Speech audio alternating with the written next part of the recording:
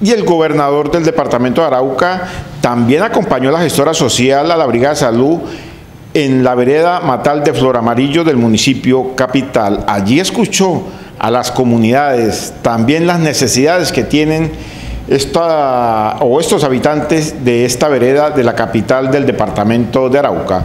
A continuación presentamos un microespacio del gobernador del departamento de Arauca.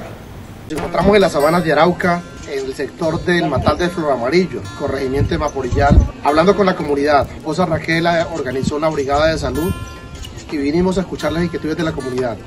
Y vemos que la necesidad más importante que tienen es el tema de la construcción del puente que la ola invernal se lo llevó en el año inmediatamente anterior y que gracias a la administración municipal se pudo contratar y hoy estamos esperando que se haga el inicio para poderlo entregar antes de que llegue el invierno.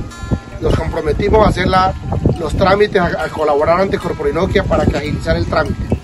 El otro es el tema de la vía y la última petición es el tema del internet para la institución educativa de esta vereda nos comprometimos a traerle internet y a entregarle una tablet a cada uno de los estudiantes de esta vereda. Son 22 por todos. Vamos a seguir llevándole eh, soluciones a la comunidad, visitando las comunidades, sobre todo escuchando a cada una de ellas en las principales necesidades que tengan. Hoy estamos en el Matal de Flor Amarillo.